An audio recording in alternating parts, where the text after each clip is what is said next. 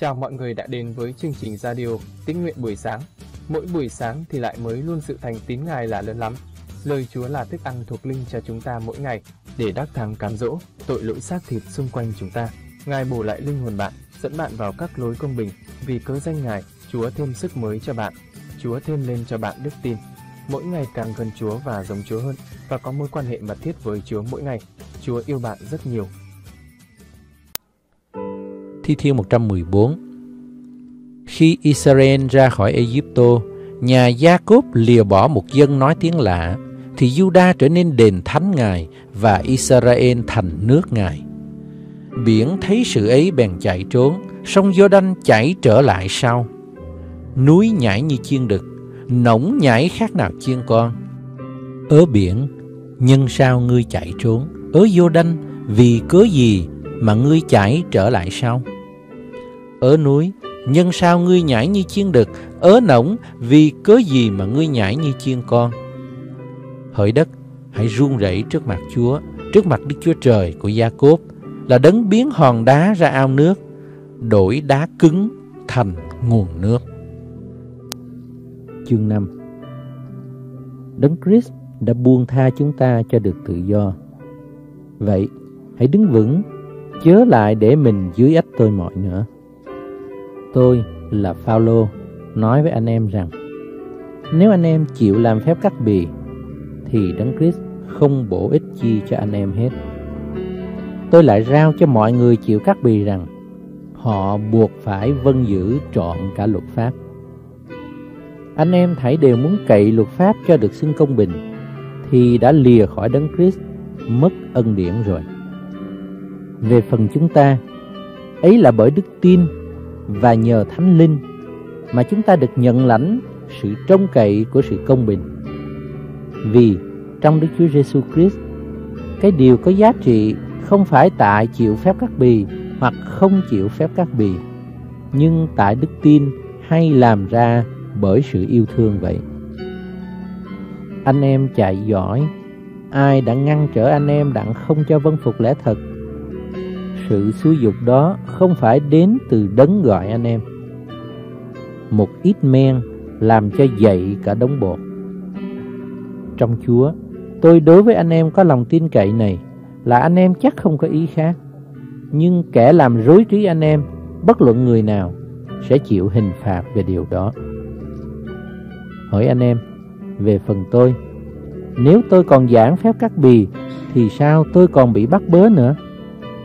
Sự vấp phạm về thập tự giá há chẳng phải bỏ hết rồi sao?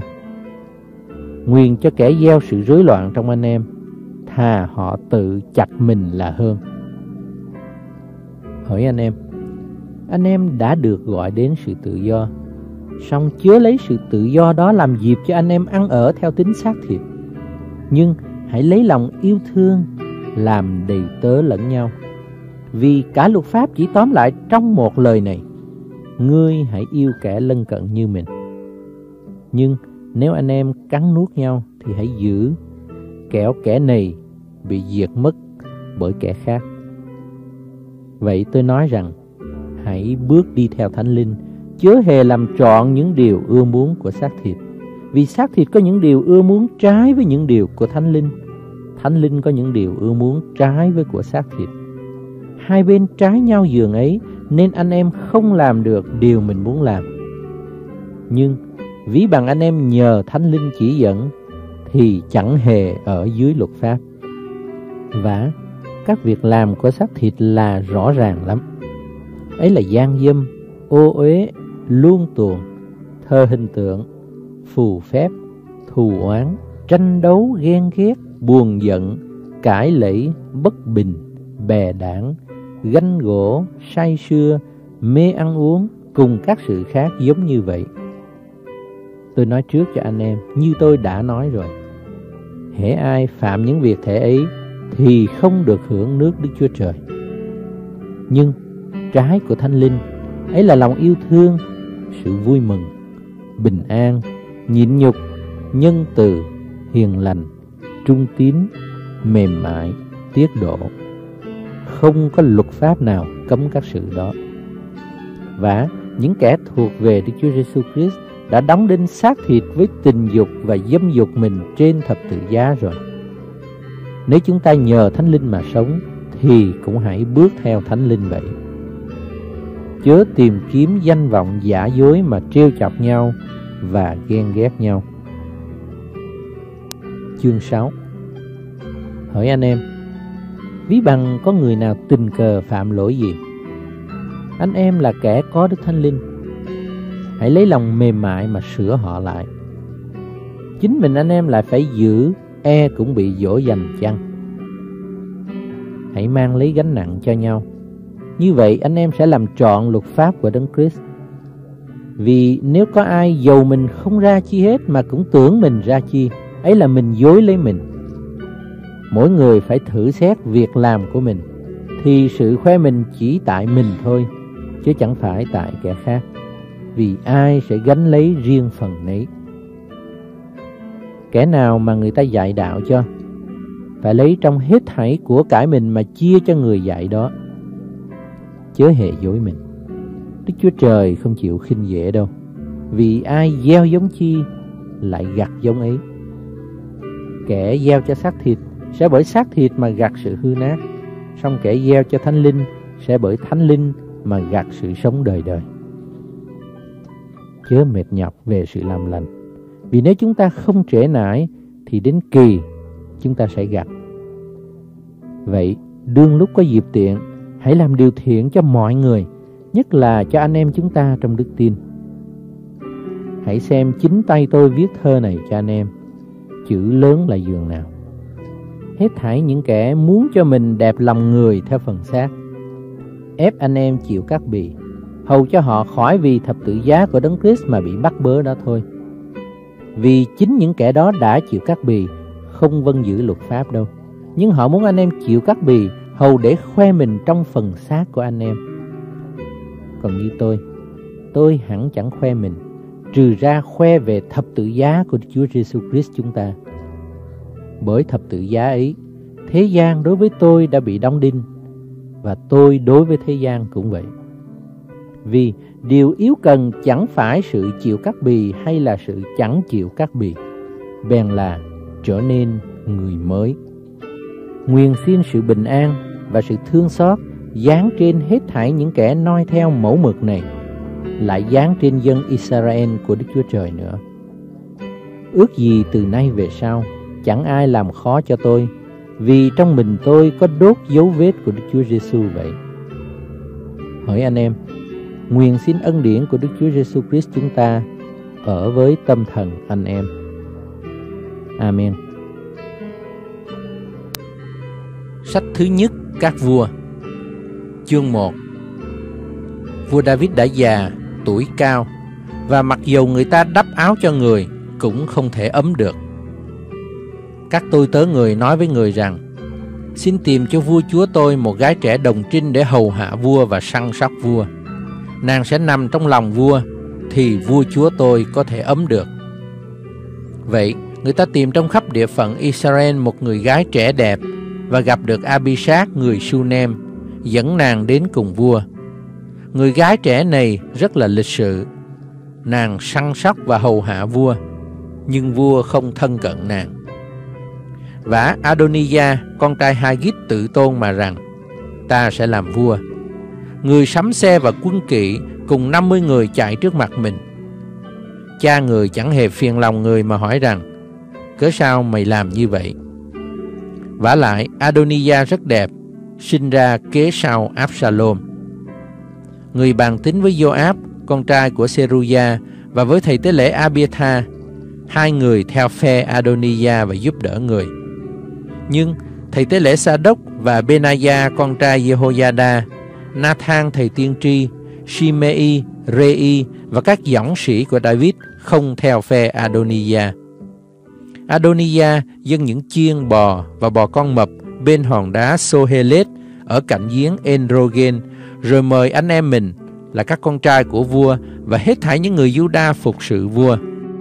Nhưng người chẳng mời Nathan là đấng tiên tri, Benaya, các dõng sĩ cùng Salomon em mình. Bây giờ, Nathan nói với bác Sheba, mẹ của Salomon mà rằng, bà há chẳng hay rằng Adonijah, con trai Hagit đã làm vua, mà David chúa ta chẳng hay biết sao. Thế thì bây giờ hãy nghe, tôi sẽ cho bà một kế để bà cứu mạng sống mình và mạng sống của Salomon. Hãy đi ra mắt vua David và tâu rằng, Ôi, vua, chúa tôi, Chúa há chẳng có thể cùng con đòi của Chúa rằng, con trai ngươi là Salomon ắt sẽ trị vì kế ta và nó sẽ ngồi trên ngôi ta hay sao? Vậy, cớ sao Adonijah trị vì? Trong lúc bà tâu với vua như vậy, thì chính tôi cũng sẽ đi vào sau, làm cho quả quyết các lời của bà. Vậy bác Sheba đi đến cùng vua tại trong phòng. Vua đã già lắm, có Abishag, người Sunem hầu hạ người. Bác Sheba cúi mình xuống và lại trước mặt vua. Vua hỏi rằng, ngươi muốn chi? Bà tâu rằng, Chúa tôi ơi, Chúa đã nhân danh Jehovah Đức Chúa Trời Chúa thề cùng con đòi của Chúa rằng, Salomon, con trai ngươi sẽ trị vì kế ta, và nó sẽ ngồi trên ngôi ta. Ôi, vua Chúa tôi, nhưng bây giờ Adonia làm vua mà Chúa chẳng biết chi đến. Người lại có giết bò đực, bò tơ mập và chiên rất nhiều. Cũng có mời hết thảy các vương tử với Abiathar thầy tế lễ và Joab quan tổng binh. Nhưng người không mời Salomon kẻ tôi tớ vua. Ôi vua chúa tôi, cả Israel đều xây mắt về vua, đợi vua cho họ biết ai là người kế vua phải ngồi trên ngai của vua là chúa tôi. Chẳng vậy, khi vua chúa tôi an giấc với các tổ phụ, thì tôi và con trai tôi là Salomon sẽ bị xử như kẻ có tội. Bà đang còn tâu với vua, thì tiên tri Nathan đến. Người ta đến thưa cùng vua rằng, Này, có tiên tri Nathan. Nathan ra mắt vua sắp mình xuống trước mặt người mà lại, và nói rằng, Ôi vua chúa tôi, có phải vua đã phán rằng, Adonija sẽ trị vì kế ta và ngồi trên ngai ta chăng? Thật vậy, ngày nay người đã đi xuống giết bò, bò tơ mập và chiên rất nhiều, cùng mời hết thảy các vương tử, quan tướng và thầy tế lễ Abiatha. Kìa, họ ăn uống tại trước mặt người và la lên rằng, Adonija vạn tuế. Còn tôi là kẻ tôi tớ vua, thầy tế lễ Sa đốc, Benaya, con trai Jehoiada và Salomon tôi tớ vua, thì người chẳng có mời. Việc này há phải bởi vua chúa tôi mà ra, và lại vua không cho các tôi tớ vua biết ai là người kế vua, phải ngồi trên ngai của vua chúa tôi. Vua David đáp rằng, hãy gọi bác Sheba cho ta. Bà vào và đứng trước mặt vua. David bèn thề mà rằng, nguyện Đức Giê-hô-va hằng sống là đấng đã giải cứu mạng sống ta khỏi các hoạn nạn. Ta nhân danh Jehovah, Đức Chúa Trời của Israel mà thề cùng ngươi rằng, quả hẳn Salomon con trai ngươi sẽ trị vì kế ta, nó sẽ ngồi trên ngai thế cho ta, thì ngày nay ta sẽ làm hoàn thành điều đó. Bác Sê Ba cúi mặt xuống đất và lại trước mặt vua mà tâu rằng, nguyện vua David chúa tôi vạn tuế. Đoạn vua David nói, hãy gọi cho ta thầy tế lễ Sa đốc, tiên tri Nathan và Benaya con trai của Jehoiada.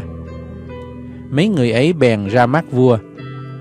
Rồi vua nói với họ rằng, hãy đem các đầy tớ của chủ các ngươi theo, đỡ Salomon, con trai ta, lên cởi con la của ta, rồi đưa nó đến ghi hôn. Ở đó, thầy tế lễ Sa đốc và tiên tri Nathan phải sức dầu cho người làm vua Israel. Đoạn các ngươi hãy thổi kèn lên mà hô rằng, vua Salomon vạn tuế. Các ngươi sẽ theo sau người trở lên, người sẽ đến ngồi trên ngai ta và trị vì thế cho ta. Ấy là người mà ta đã lập làm vua của Israel và Judah. Benaya, con trai Jehoiada tâu cùng vua rằng, Amen, Jehovah Đức Chúa Trời của vua chúa tôi cũng phán định như vậy. Đức Giê-hô-va đã ở cùng vua chúa tôi thể nào, nguyện Ngài cũng ở cùng Salomon thể ấy, và khiến ngôi người còn cao trọng hơn ngôi của vua David là chúa tôi. Đoạn, thầy tế lễ Sa đốc, tiên tri Nathan, Benaya, con trai Jehoiada, những người Kerethit và Phelethit đều đi xuống, đỡ Salomon lên cởi con la của vua David, rồi đưa người đến ghi hôn.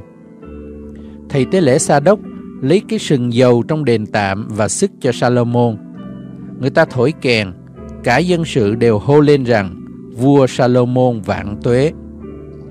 Chúng đều theo người đi lên, thổi sáo và vui mừng khôn xiết, đến nỗi đất rúng động bởi tiếng la của họ. Adonia và hết thảy kẻ dự tiệc với mình đều nghe tiếng này khi vừa ăn xong. Lúc Joab nghe tiếng kèn thì nói, sao trong thành có tiếng xôn xao ấy? Người hãy còn nói, kìa Jonathan, con trai thầy tế lễ Abiatha chợt đến. Adoniya nói với người rằng, hãy vào, vì ngươi là một tay dõng sĩ, chắc ngươi đem những tin lành. Nhưng Jonathan đáp với Adoniya rằng, thật trái hẳn. Vua David, chúa chúng ta, đã lập Salomon làm vua.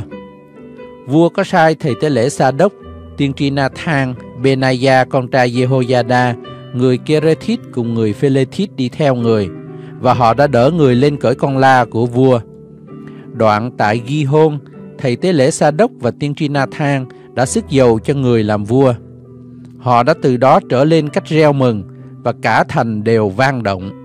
Đó là tiếng xôn xao mà các ông đã nghe.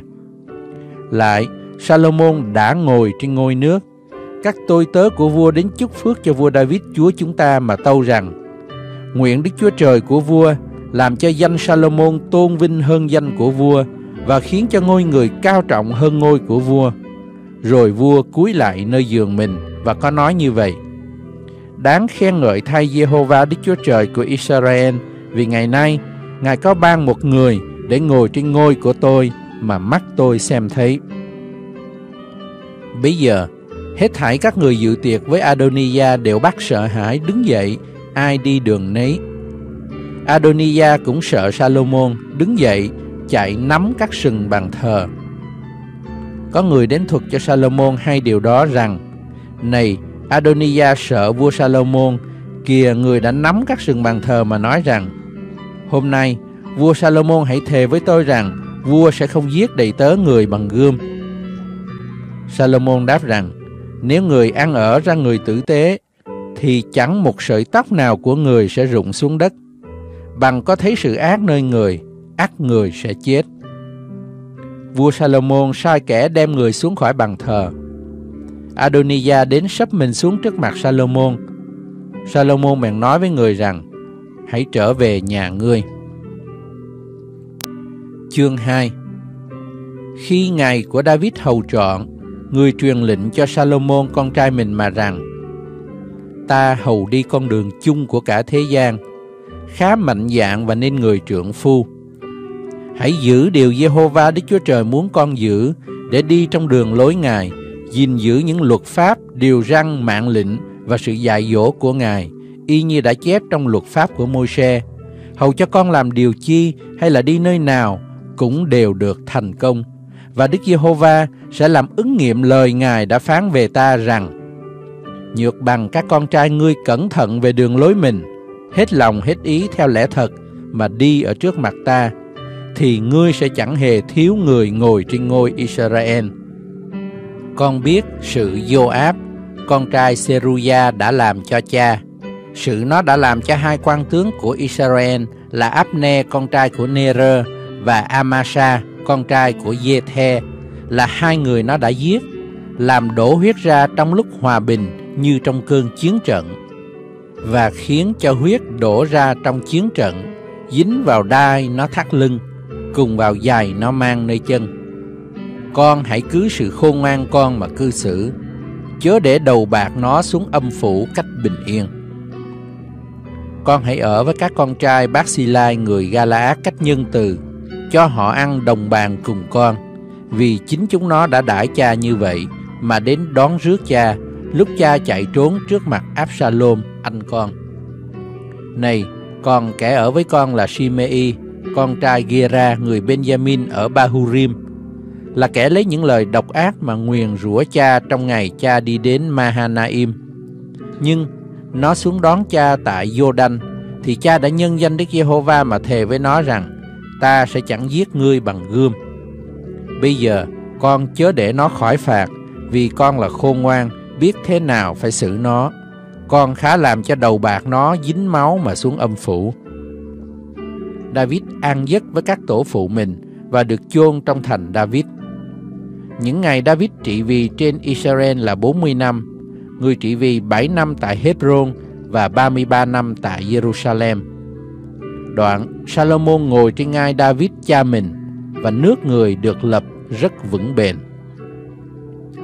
Adoniah, con trai Hagit, đến cùng Bác Bathsheba mẹ của Salomon. Bà nói, Ngươi đến có ý bình an chứ? Người thưa rằng phải có ý bình an. Người lại rằng, tôi có một lời nói cùng bà. Bà đáp hãy nói. Người tiếp, bà biết rằng nước vốn thuộc về tôi và cả Israel đều mong thấy tôi trị vì. Nhưng ngôi nước đã trở nên của em tôi vì do nơi Đức Giê-hô-va mà thuộc về người. Vậy bây giờ tôi có một sự xin với bà chớ từ chối. Bà đáp, hãy nói. Người nói, xin bà hãy nói với vua Salomon vì người chẳng chối gì với bà và cầu người cho tôi lấy Abisat người Sunem làm vợ. Bác đáp, được, ta sẽ nói với vua dùm cho ngươi. Bác đi đến vua Salomon để nói với người dùm cho Adoniya. Vua đứng dậy đi đón bà, cúi xuống lại bà, đoạn người ngồi trên ngai mình và sai đặt một ngai khác cho mẹ mình. Bà bèn ngồi bên tay hữu vua. Bà nói với vua rằng, mẹ có một việc nhỏ xin con, con chớ từ chối. Vua đáp, mẹ ơi, xin hãy nói, vì tôi sẽ chẳng từ chối với mẹ đâu. Bà tiếp, hãy ban Abisat người Sunem làm vợ Adonija là anh con. Nhưng vua Salomon thưa cùng mẹ mình rằng, cớ sao mẹ xin Abisat người Sunem cho Adonija, Cũng hãy xin nước cho người luôn, vì người là anh cả tôi. Hãy xin cho người, cho thầy tế lễ Abiathar và cho Joab, con trai Seruya. Vua Salomon bèn chỉ Đức Giê-hô-va mà thề rằng Adonijah có nói lời đó nghịch với mạng sống mình bằng chẳng nguyện Đức Chúa Trời xử tôi cách nặng nề. Bây giờ tôi chỉ Đức Giê-hô-va hằng sống là đấng đã làm cho tôi vững vàng và khiến tôi ngồi trên ngai của David cha tôi, cùng lập một nhà cho tôi y như lời Ngài đã hứa mà thề rằng Adonijah sẽ bị xử tử chính ngày hôm nay. Vua Salomon bèn truyền lệnh cho Benaya, con trai Jehoiada, xông đánh Adonijah thì người chết. Đoạn, vua nói với thầy tế lễ Abitha rằng, hãy lui về Anatot trong đất ngươi vì ngươi đáng chết. Song ngày nay ta không giết ngươi vì ngươi có khiên hòm giao ước của Chúa Giê-hô-va trước mặt David là cha ta và bởi vì ngươi đã bị hoạn nạn trong các sự hoạn nạn của cha ta. Như vậy, Salomon đuổi Abitha ra đi, không cho làm thầy tế lễ của Đức Giê-hô-va nữa, hầu cho lời của Đức Giê-hô-va đã phán về nhà Heli tại Silo được ứng nghiệm. Tin này thấu đến Joab, và Joab đã theo phe Adoniya, dầu không có theo phe của Absalom. Người liền trốn đến đền tạm của Đức Giê-hô-va và nắm sừng của bàn thờ. Người ta đến tâu với vua Salomon rằng Joab đã trốn đến đền tạm của Đức Giê-hô-va và kìa người đứng bên cạnh bàn thờ. Salomon bèn sai Benaya con trai Jehoiada mà dặn rằng, hãy đi đánh giết hắn. Benaya đi đến đền tạm của Đức Giê-hô-va nói cùng Joab rằng, vua có nói như vậy, hãy ra khỏi đó. Joab đáp, không, ta muốn chết tại đây. Benaya đi thuật lại cho vua và tâu rằng Joab đã nói và đáp lại như vậy. Vua nói rằng, hãy làm y như hắn nói. Hãy giết hắn và chôn đi. Như vậy, ngươi sẽ cất khỏi ta và khỏi nhà cha ta huyết mà Joab đã đổ ra vô cớ. Đức Giê-hô-va sẽ khiến huyết hắn đổ lại trên đầu hắn, vì hắn đã xông vào hai người công bình hơn, tốt hơn hắn và giết họ bằng gươm mà David cha ta không hay đến chi cả. Ấy là Abner, con trai của Nerer, quan tướng của đạo binh Israel, và Amasa, con trai Jethe, quan tướng của đạo binh Juda. Huyết hai người ấy sẽ đổ lại trên đầu Joab và trên đầu của dòng dõi nó cho đến đời đời. Còn phần David và dòng dõi người, nhà và ngôi nước người sẽ nhờ Đức Giê-hô-va mà được bình yên mãi mãi. Vậy, Benaya, con trai Jehoiada trở lên xông vào Joab và giết người. Người được chôn ở nhà người tại nơi đồng vắng. Vua đặt Benaya, con trai Jehoiada, làm quan tổng binh thay cho Joab và lập Sa đốc làm thầy tế lễ thay cho Abiathar. Đoạn, vua sai đòi Shimei và nói với người rằng, Hãy cất cho ngươi một cái nhà tại Jerusalem và ở đó chớ ra đặng đi đầu này đầu kia. Vì khá biết rằng, ngày nào ngươi ra khỏi đó và đi qua khe Sethron, thì chắc ngươi sẽ chết. Huyết ngươi sẽ đổ lại trên đầu ngươi. Shimei thưa với vua rằng, lời ấy phải lắm. Vua chúa tôi phán dặn điều gì, kẻ tôi tớ vua sẽ làm điều đó. Vậy Shimei ở lâu ngày tại Jerusalem.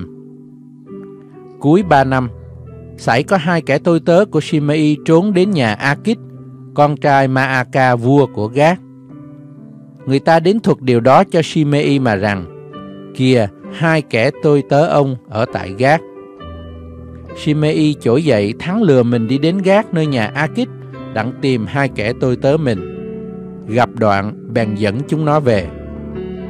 Người ta thuật cho Salomon rằng, Shimei ở Jerusalem đã đi đến Gác rồi trở về. Vua sai đòi Shimei mà phán rằng, Ta há chẳng có bắt ngươi chỉ Đức Giê-hô-va mà thề và bảo ngươi trước rằng, khá biết rằng, ngày nào ngươi ra và đi đầu này đầu kia thì ngươi chắc sẽ chết sao? Và ngươi có thưa cùng ta rằng, lời tôi đã nghe thậm phải. Vậy, cớ sao ngươi không giữ lời chỉ Đức Giê-hô-va mà thề và mạng lệnh ta đã truyền cho ngươi? Vua lại nói với Shimei rằng, Ngươi biết mọi sự ác, ngươi đã làm cho David là cha ta, mà lòng ngươi vẫn còn nhớ lắm. Vậy nên Đức Giê-hô-va sẽ khiến sự ác của ngươi đổ lại trên đầu ngươi. Nhưng vua Salomon sẽ được phước, và ngôi của David sẽ được lập vững bền trước mặt Đức Giê-hô-va đến đời đời. Đoạn, vua truyền lệnh cho Benaya, con trai Jehoiada, người bèn đi ra đánh giết Shimei. Như vậy, ngôi nước được vững bền trong tay Salomon. Cảm ơn Chúa lời của Ngài bày tỏ cho con. Thì giờ này chúng ta đến với Chúa trong sự cầu nguyện. Xin Thánh Linh Chúa, hãy bày tỏ cho con biết, Ngài dạy dỗ hay ấn chứng cho con điều gì qua lời của Ngài. Xin lời của Ngài được linh hồn con ăn nuốt vào trong tấm lòng và tâm trí của con mỗi ngày thêm lên lời của Ngài, để linh hồn con được tăng trưởng, thêm lên đức tin đặt để nơi Ngài Xin Chúa cho con biết về Ngài nhiều hơn và con khát khao mối quan hệ mật thiết với Ngài nhiều hơn. Lạy Chúa con cảm ơn Ngài, mỗi ngày mới Ngài ban cho con hơi thở để tiếp tục sống trên đất này. Con nguyện huyết báo của Chúa Giêsu Christ thanh tẩy, tẩy sạch, bôi xóa những suy nghĩ, tư tưởng, hành động trong tâm trí, trong tấm lòng của con như ấy là gian dâm, ô uế, lung tuồng, thờ hình tượng, phù phép, thù oán, tranh đấu, ghen ghét, buồn, giận, cãi lẫy, mất bình, bè đảng, ganh gổ, say xưa, mê ăn uống, cùng các sự khác giống như vậy. Con nguyện xin dòng huyết báo của Ngài tẩy sạch bôi xóa sự xác thịt của con không đẹp lòng Ngài ra khỏi con ngay giờ này. Bây giờ con được thánh sạch đứng trước mặt Ngài. Con nguyện Thánh Linh Đức Chúa Trời đổ đầy, đầy dẫy con Chúa ơi, những bông trái của Thánh Linh, ấy là lòng yêu thương, sự vui mừng, bình an nhịn nhục, nhân từ, hiền lành, trung tín, mềm mại, tiết độ đầy dẫy trên con. Con xin Chúa thêm sức mới, thêm đức tin cho con, Xin Chúa dẫn dắt con để con đắc thắng một ngày mới trong ngày. Con cảm ơn Chúa, con dâng mọi vinh hiển tôn quý lên ba ngôi Đức Chúa Trời toàn năng và phước hạnh con nhận lãnh từ nơi Ngài. Và con thành kính dâng lên cha lời cầu nguyện trong danh Chúa Giêsu Christ. Amen. Cảm ơn bạn đã nghe chương trình Tĩnh Nguyện Radio buổi sáng. Bạn ủng hộ chương trình bằng cách like, chia sẻ chương trình tĩnh nguyện rộng rãi trên mạng Internet cộng đồng. Cảm ơn bạn. Hẹn bạn tĩnh nguyện tiếp theo. Chúa yêu bạn rất nhiều.